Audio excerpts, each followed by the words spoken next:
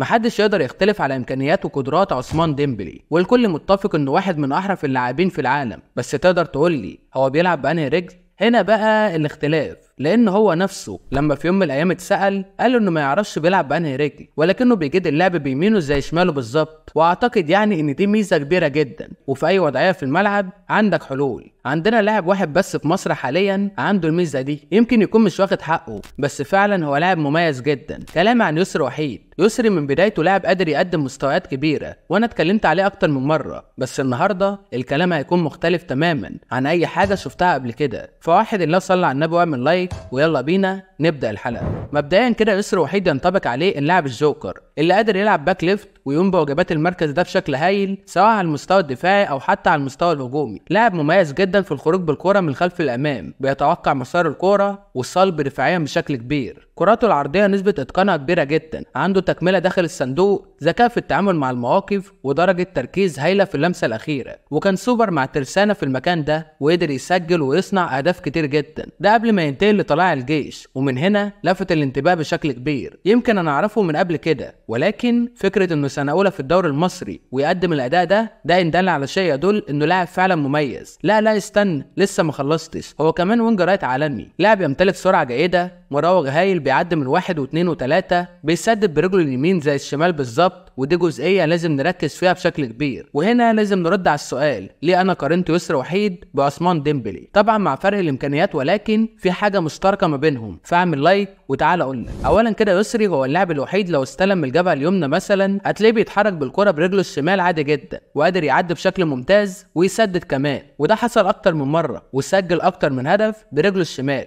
أما بقى لو استلم الكرة من ال wing left هتلاقيه بيدربل عادي جدا برجله اليمين. وأنت ما تعرفش هو اشول ولا أيمن ولا إيه نظامه ولكن هو مميز جدا باللعب برجله الاتنين بنفس القدر تقريبا. بيسدد بيمينه زي شماله بيعدي بيمينه زي شماله بيعمل ال over بيمينه زي شماله وزي ما قلت لك إنها حاجة مختلفة. لأنه قادر في أي موقف يسدد قادر في أي موقف يكون مرتاح لأنه مش محتاج يعدل الكورة على رجله الأساسية. أكيد في رجل أقوى من التانية بس درجة التفاوت مش كبيرة. عكس لعيبة كتير لو بيلعب بيمينه مش بيعرف يتعامل برجله العكسية تماما والعكس صحيح. مش بس كده كمان يسري على مستوى ألعاب الهوا عنده قوة في الالتحامات وارتقاء عالي وعنده نسبة توجيه كبيرة ما شاء الله. وكان قادر يسجل هدفين من أمتع الأهداف هذا الموسم من ضربات رأسية ولاعب فعلا دخل الصندوق خطير جدا. الخلاصة كده يسري وحيد هو الحصان الأسود هذا الموسم للكرة المصرية حتى الآن. انضم للطلائع بدون ضجة واشتغل بدون شو وقادر يقدم مستوى فعلا هايل لأنه على المستوى الرقمي حتى الآن لعب هذا الموسم 20 مباراة.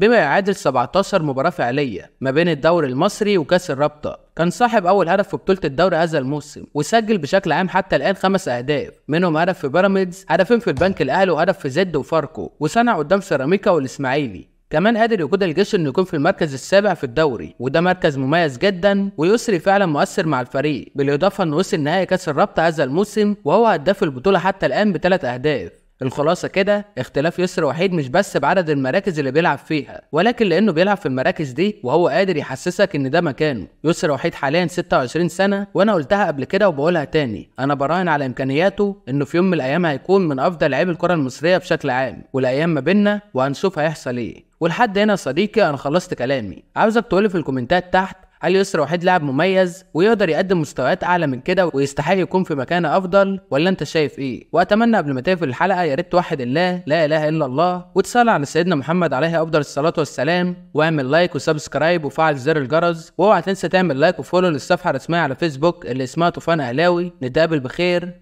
سلام.